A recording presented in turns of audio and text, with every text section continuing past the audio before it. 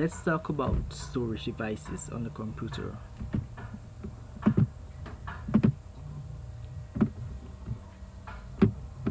Storage devices are devices that store computer information in the main memory of the central processing unit until it's erased. So storage devices basically store information on the computer. And there are types of storage devices. Let's go into the first type of storage devices. Primary storage is a computer main storage embedded inside internal memory, for example, hard drive. So primary storage are basically memory storage that comes along with the computer.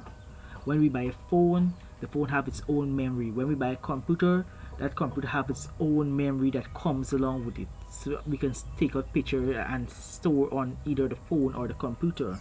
That is the primary storage. The primary storage is what comes with that device.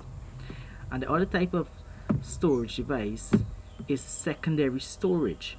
Secondary storage is also known as auxiliary storage or backing storage. These storage devices are not part of the main computer and can be bought to increase your computer memory. Example floppy disk, flash drive, magnetic tape.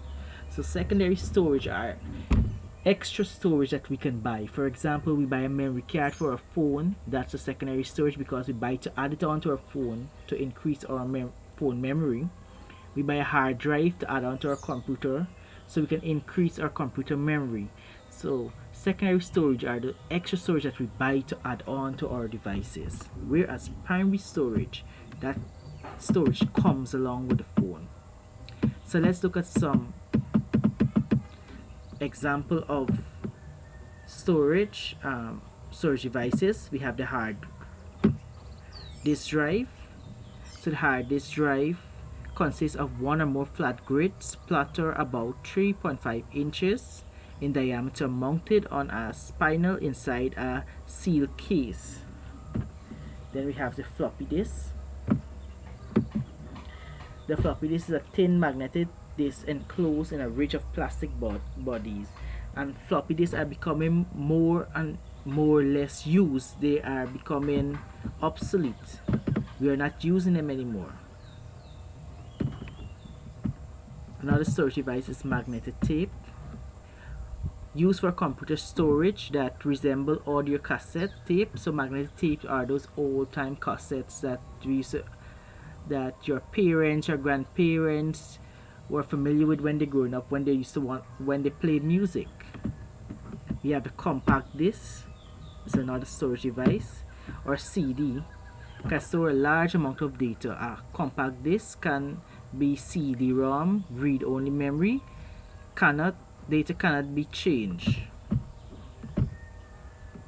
the DVD disc is also a storage disc and DVDs uh, allow you to store large files such as movies on a single disk. We have the flash drive, also a storage device. is a small device about 2 inches long with less than an inch wide that connects to the computer via a USB port. So I hope that you guys are studying. Go through your textbook. Do some research online upon the topics that we are, that I'm discussing here. They are very important. And see you in the next class